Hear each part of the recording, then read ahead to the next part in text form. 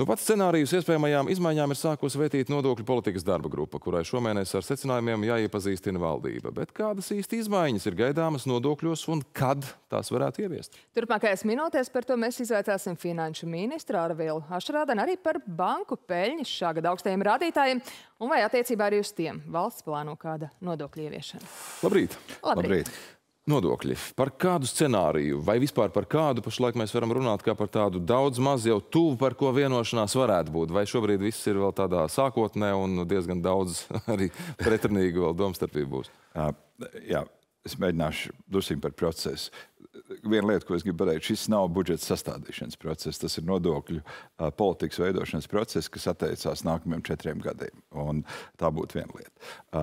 Nākamais ir ārkārtīgi komplicētais ekonomikas konteksts, kurā mēs atrodamies. Ir visa ģeopolitiskie riski, ko mēs redzam. Ir šobrīd ļoti strauji sadārdzinās naudas resursi. To mēs redzam, tā pašā laikā mēs arī atpaliekam no mūsu kaimiņu valstīm. Uh, un uh, tā tad, lai izveidotu nodokļu politiku, kurai viennozīmīgi ir jābūt ekonomisko izaugsmu atbalstošai, ir jātiek skaidrībā, kā mēs rīkojamies uh, attiecībā uz ekonomisko izaugsmu. Nu, teiksim, ja mēs skatāmies to darba, darba procesa punktu, kur mēs esam šobrīd, tad darba grupa izgāja cauri visiem 14 Latvijā esošiem nodokļiem, novērtēja viņu status, kādu viņš tur, kāds viņš viens vai otrs, kā nu viņš funkcionē.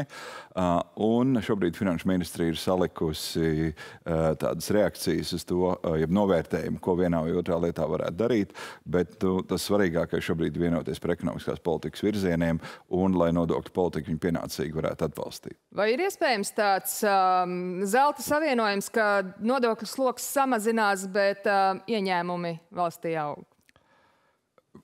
Ir daži ekonomisti, ir, ja ekonomiska teorija saka, ka tā varētu būt, bet, nu, ja mums apskatāmies uz uh, Latvijas situāciju, tad, protams, uh, kas ir tā drusku uh, komplicēta situācija priekš manis, kā priekš finanses ministra, ir eh, pieprasījumi pēc valsts izmaksām aug vismaz par 3%. Tātad tie ir nu, 3% no IKP, es gribētu teikt. Uh, precizēšu, jā. Tad es domāju, šie ir drošības izmaksas. Mēs ejam uz 3% no IKP, kas ir, ir, ir, ir, ir būtisks, uh, būtisks lielums. Uh, tāpat iekšējās drošības izmaksas pieprasījumi. Uh, mēs redzam, ka pieaugot uh, efektīvam finansējumam ar, uh, aizsardzības spēkos, darbinieki pārplūst no iekšlietu ministrijas spēkiem uz aizsardzības ministrijas spēkiem. Skaidrs, ka mums jābalansē tā situācija, un iekšējā drošība ir tikpat svarīga kā ārējā drošība. Mēs redzam, veselības aprūpas situācija ir dramatiska. Nu, izdevumi mazāk nekļūst nekā. Izdevumi mazāk nekļūst nekā, un tieši tāpēc izglītībai vajag naudu. Savukārt uzņēmēji vēlās, un arī politiskie partneri vēlās gluži otrādi doties pretējā virzienā. Es saprotu, ka tā atslēdziņa, cik vismaz tas izskan no speciālistiem, ir jēdziens produktivitāte. Bet kā tas iemiesotos. Tas, es pieļauju, nav finanšu ministra jautājums, jā. bet, bet principā tā ir atslēga, kas tiešām balansē šo. Ir, nu jā, ir trīs makroekonomiski trīs lielie jautājumi. Nodarbinātība. Ja? Tātad šobrīd ar darbspēku pieejamību mums ir problēma, pie tam struktūrāli mēs esam aizgājuši situācijā, kas prasa kompleksu risinājumu. Restīvi, tas līdzsvars nodarbināti, minimālais līdzsvars ir tā, ka puse valsts iedzīvotāji strādā un uztur otru pusi. Ja? Tas būtu Latvijas gadījumā vismaz 900 tūkstoši cilvēkiem vajadzētu strādāt. Mēs esam aizgājuši zem šī skaitļa, un tas rada ļoti nopietnas problēmas. Teiksim, šeit ir makroekonomiskais scenārijs, kas rāda, ka mēs sākam iet apakšā zem šī cipara, un tas rada ļoti nopietnas problēmas ne tikai ekonomiski, bet arī sociālās aizsardzības sistēmās visā citā. Un viens no neatliekamiem uzdevumiem ir stabilizēt nodarbinātības situāciju, produktivitāti, efektivitāte ir konkurētspējas jautājums. Ja tu, jo tu esi produktīvāks, jo tu strādā labāk, jo tu vairāk spēj eksportēt. Un trešā lieta, kas ir uh, Latvijas ekonomikā, uh, mums diemžēl ir milzīgas atšķirības, uh, ja mēs būtiski atpaliekam no kaimiņiem pašu kapitāla veidošanā, respektīvi tas, kas ir ieguldīts kapitāls uzņēmumos un uzkrātā peļņa. Un tie rādītāji ir, ir, ir diezgan būtiski atšķirīgi no Igaunijas un Lietuvas. Un, nu, pie šīm trim lietām ir jāstrādā. Mazliet paiesim konkrēt, pa konkrētiem soļiem. Darba devēji daudz skaļi ir runājuši par to, ka, lai veicinātu konkurētspēju, ļautu tiem vairāk nopelnīt, līdz ar to vairāk samaksāt arī nodokļos, kas ir pozitīvi valsts budžetam, ir jāmazina darba spēka nodokļi. Vai šajās koncepcijās izstrādātajās, vai tur tiek paredzēts mazināt darba spēku? Jā, Finanšu ministrija ir reaģējusi uz šo. Tātad mēs vērtējam divus darba spēku samazināšanas scenārijus, bet jāsaka, tas, ir, tas nav lēti. Tātad mēs to esam balansējuši ar piedāvājumu, kāds varētu būt ar, ar dažādu citu nodokļu izmaiņām. Kā, nu, ar citu pacelšanu. Par nu, ko ir runa? Cik, protams, es, Pievienotās vērtības nodoklis? Es, es gribu teikt, ka nu, teiksim tā, ja mēs skatāmies valsts nodokļu sloks, iekasējumība ir zemāka nekā salīdzināmās valstīs. Vidēji līdzīga veida valstīs iekasējumība ir apmēram 32% no IKP, mums ir apmēram 30%. Nu, šajā brīdī, kad ir milzīgs pieprasījums pēc izmaksām, kā jūs teicat, jau drošībā, nu, mēs nevaram būtiski samazināt teikt, nodokļu ieņēmumus. Tā kā es gribu teikt, ka tā ir vienīgā iespēja balansēt šīs. Jā, bet tā tad vai šī kompensācija varētu būt uz PVN celšanas rēķina? Tā ir vesela kompleksa grupa. Tur ir gandrīz 11 dažādu veidu nodokļu izmaiņas. Ir, tā ir viena alternatīva, bet arī cit, ir dažādas citas skatītas. Tātad mēs nodokļu diskusijā balansēsim dažādas iespējas. Uz kādu procentu punktu PVN tiek tēmēts?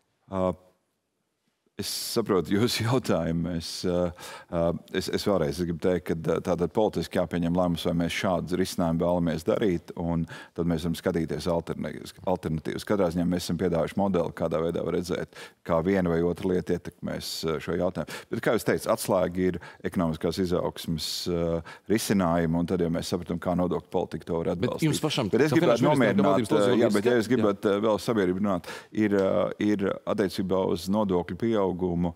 Uh, pilnīgi noteikti mēs to nevaram runāt šogad. Tātad mēs redzam, ir inflācija, un tas ir jāskatā laikā.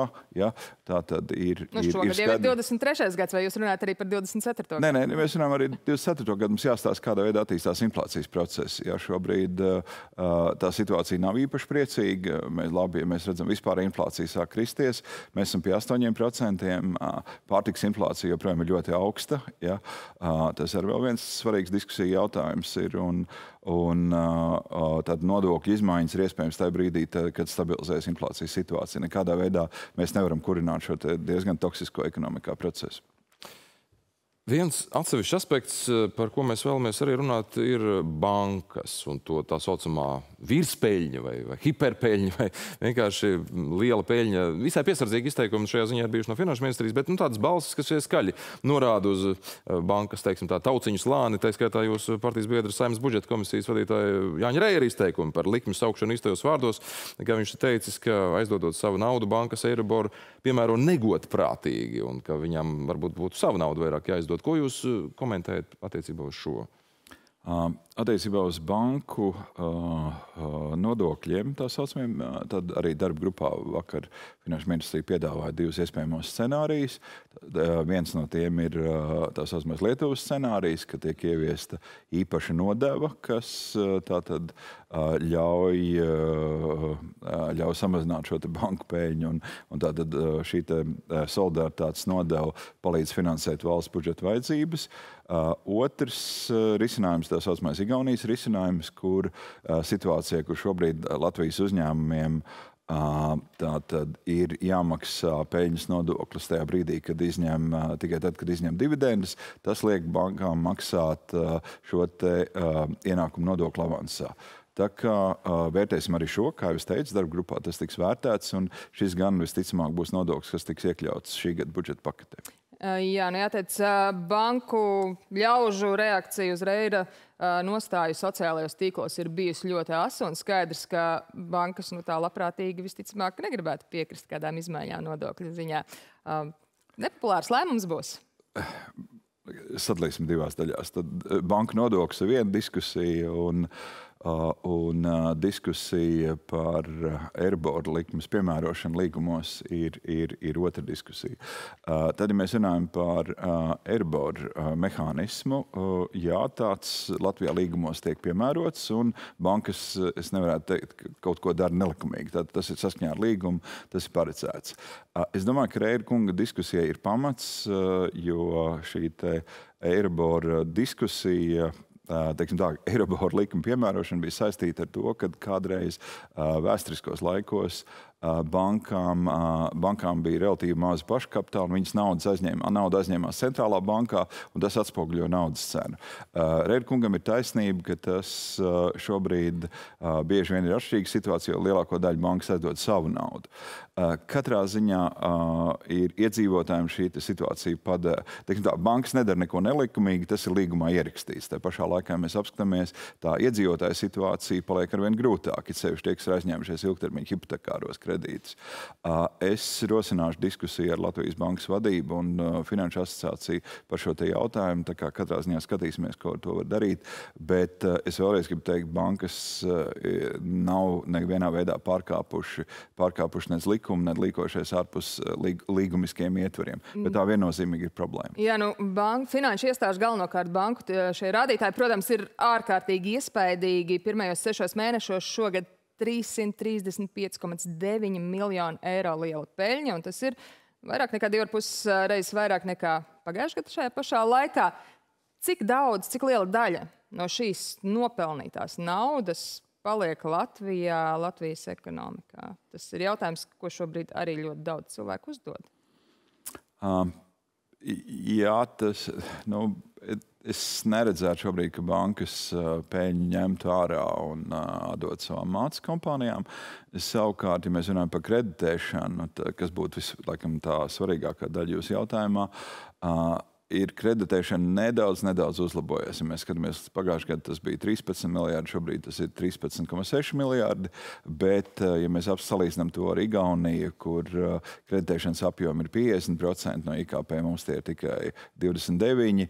Un, Tāda situācija gan ir Lietuvā, arī līdzīga. Uh, bet es gribu teikt, ka galvenais izšķirīgais jautājums ir konkurence. Uh, un uh, Igaunijā, kur ir daudz augstāka banka konkurence, ko sastāv arī viena vietējā banka, tas ir LHV, mēs redzam daudz labākus rezultātus, jo šī banka uzņemās daudz straujāk uzņemās riskus.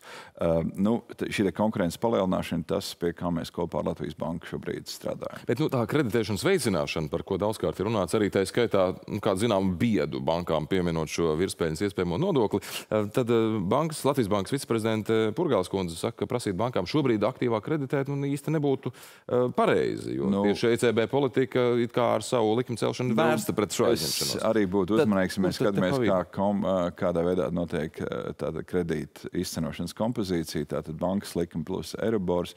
Nu, pie, pašlaik Eirobors ir 4%, 4,1%.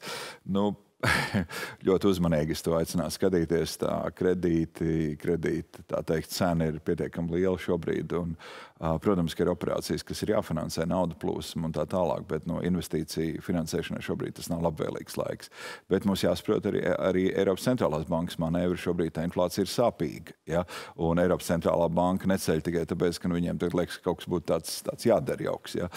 Viņi dara to tādēļ, lai cīnītos ar inflāciju. Mēs redzam, ka tā inflācijas procesi ir lejupējoši. Ja, vai viņi iet pietiekami ātri, to mēs nevaram teikt, bet nu, būs šis te, nu, bezgalīgi tas arī nebūs. Tā kā tā situācija nu, pārskatāmā laikā arī mainīsies. Jūs minējāt, es jūs pārtraukšu, bet jūs minējāt, Igaunijā situācija ir atšķirīga, jo tur ir vietējā banka, kas arī strādā un, un kreditē aktīvāk. Vai ir kāda versija, ka, piemēram, mūsu Finanšu attīstības institūcija Altuma varētu tikt masveidīgāk iesaistīt šajā visā procesā? Aha. Jā, ir vairākas. Viens ir, ja es esmu pamanījuši, pat valsts kasa ir aktīvi iesaistījusies tātad konkurencē, un šobrīd valsts kasa tirgo tātad krāju obligācijas. Jā, bankas un, sākušas celt depozītu. Nu, procentu. un vismaz mēs, es nezinu, vai šīs rīcības dēļ, vai arī mūsu tātad kopējās rīcības ar bankas prezidentu dēļ, tātad bankas ir vismaz sākušas celt depozītu likumus. Es gribu teikt, ka valsts kases tirgo vairāk kā miljonu eiro obligāciju dienā. Tas, ir, ja tas rāda, ka finanšu tirgu ir interese, ja, ir aktīva interese par šādiem pakalpojumiem. Mēs vērtējam arī altuma iespējas būt agresīvākiem tirgu, bet vienmēr ir uzmanīgi jāskatās to, Uh, ja mēs atceramies, mums ir bijuši pietiekami daudz sāgu ar valsts bankām, atcerieties, zemes bankas un kas tik vēl nav bijuši. Tā kā uh, Altumam ir pienā, pietiekami uh, cienījams investīciju portfelis, ļoti augsti, ļoti labi teikt, reitingu rādītāji. Uh, tagad jautājums, vai mēs varam pārkombinēt viņa riska politiku, par to jādomā, bet katrā ziņā kā valsts investīcija banka viņi strādā labi. Par nākamā gada budžetu vēl īsi vēlamies arī veicāt eh, naudas prasību no ministrijām, esot mazāki, tā kā varbūt atbildīgāk pie 250 miljonu mazāk prasīts nekā pērn, bet eh, kā jūs kopumā vērtējat, nebūs šogad tāda izteikta kavēšanās ar budžeta izstrādi un vai nebūs arī tādas lietas kā pagājušajā gadā, kam tad jāmeklē papildu naudu citu ministriju budžetos tādām jomām kā veselība, piemēram, vai to visu šobrīd bilanci salikt? Varēs? Nu, tas vienmēr ir tāds uh, politiskā procesa jautājums. Ir, ir, katrā ziņā mēs gatavojamies, 15. augustā mēs sāksim. Uh, Uh, nekādu tādu drāmu šobrīd uh, es neredzu. Uh, protams, nepatīkami pārsteidz otrā ceturkšņa IKP rādītāji, kas ir viena lieta, kas iespējams mums būs jāpamaina prognozes attiecībā uz izaugsmi, bet kas arī tādas... tieši ietekmē, protams, ieņēmumu Jā, bet, daļu, būs parasti, nu, būs politisks process, kurā būs diskusijas tātad, par, par tātad, iespējamo politisko prioritāšu finansēšanu. Kā jau teicu, galīgi ne, ne, vienkāršā daļa nebūs, protams, ir drošības izmaksas, kā jau teicu, iekšliet, iekšliet, iekšējās drošības sistēmās mums ir būtiski jāpalielina finansējums. Tieši tāpat veselības aprūpe, bet mēs, mēs to savu minimālo līmeni, PVO rekomendāciju līmeni esam sasnieguši. Nu, izglītībā arī, ja mēs gribam mainīt ekonomikas struktūru, bez izglītības un inovāciju finansēšanas nekas daudz nenotiek. Jūs sakāt, tas būs politisks process, bet kāds būs šis politiskais process? Tas Kas sēdēs pie sarunu galda? Esošā koalīcija vai kādā izmainītā sastāvā? Aha. Es varu teikt, ka man kā finanšu ministram ir savs budžeta uh, sagatavošanas grafiks. 15. oktobrī man viņš ir jāiesniedz saimā. Uh, tā kā skatīsimies nākamnedēļ līdz 15. augustam šo jautājumu jābūt. Bet jums ir skaidrība jau tagad iekšē, varbūt pašam. Tad netirdīsim jūs, lai jūs visai nācijai atklājat to, bet ir skaidrība par to, kā tad virzīsies šis koalīcijas paplašināšanas vai nomaiņas scenārijs šobrīd. Uh, Restīvi ir noticis ārkārtīgi interesants sarunu process, un uh, daudzos jautājumos ir izdevies pavirzīties būtisks priekšpolitiskajos risinājumos. Un kaut vai vienu piemēru es minēšu, ja līdz šim pat Nacionāla apvienība nodarbinātības politikā teica, ka vispār tabū tēma nav runājama, tad ir, ir, ir zinām mērā, es teiktu, ekonomikā notikusi zemestrīce, kur viņi teikuši, ne, nu labi, mēs esam gatavi skatīties ierobežojumu daļēji vai vispārēji ierobežojumu atcelšanu un maiņu. Katrā ziņā tas, kas šonadēļ notiek, ir, notiek premjeras rūpīgi izvērtē visas tās šo sarunu rezultātus. Un, es domāju, ka nākamā nedēļa mēs redzēsim diezgan lielu dinamiku šajā procesā. Nākamā nedēļa. Nu, mēs gaidām nākamā nedēļa, bet tikmēr atgādināšu mūsu skatītājiem, ka, kā jūs minējāt, runājot par iespējamām nodokļu izmaiņām, ņemot vērā inflāciju, ko mēs esam piedzīvojuši, tad uh, nu, vismaz nākamā gada laikā tādas izmaiņas, kas uh, vēl saspringtāk padarītu iedzīvotāju finanšu situāciju, mums nesagaidīt. Ja? Nē, nu, es vēlreiz teicu, ka ir pie šādas inflācijas, jebkāda inflācija veicinoša pasākuma, kas būtu nodokļu palielināšana, nu, ir uh, jāvērtē desmit reizes, vai tas ir jādara. Es vēlreiz, mēs esam vienā drošības situācijā, kurā mēs nevaram pateikt, kas rīt vai parīt notiks. Ja? Es atvainojos, ir, mums ir, diemžēl, mēs dzīvojam robežojamies ar agresoru valsti nezinu, Wagner grupa koridor, pie Suvalka koridora, bet uh, katrā ziņā tā ir vēl trešā lieta, kur mums jābūt gataviem jebkuru amortizēt, jebkuru šoku, kas ir bijis. Atcerieties, kāds bija Covid laikā, energokrīze un tā tālāk. Tā ir vēl viena lieta, kam mēs gatavojamies ļoti rūpīgi, lai spētu reaģēt, bet savādāk es neredzu nekādu, nekādu iespēju kurināt inflāciju. Finanšu ministrs Arvils Ašerādēns, paldies, paldies par sarunu šeit. Paldies.